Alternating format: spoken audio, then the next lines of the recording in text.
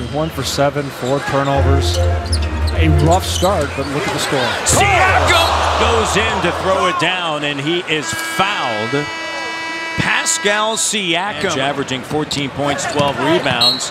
As Siakam is fouled running the floor. Great pass by Lowry to find him, and Siakam will head to the line. It's off to a great start. Yeah, Nuggets have been playing unbelievable basketball. Wide open corner three from Rexdale. That's the difference maker right there.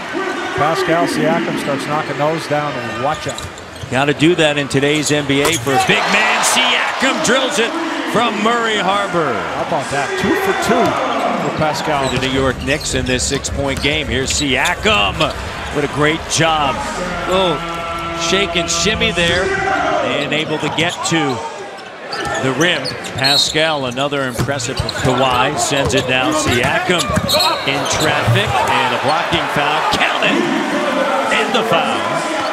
Yeah, that's an interesting continuation right there, Matt. Good call. It was definitely a block.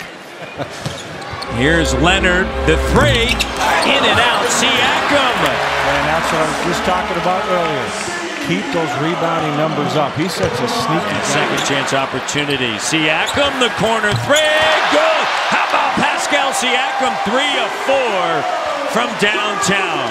And how about the confidence in his teammates? Kawhi Leonard kicks it out, says, let it go, young man.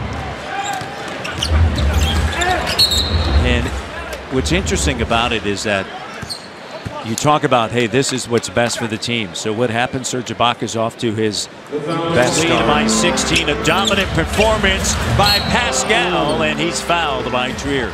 See, this is, we've talked about it before. You're going to see it all play out. And why do you see it? When you put a small on him, he goes around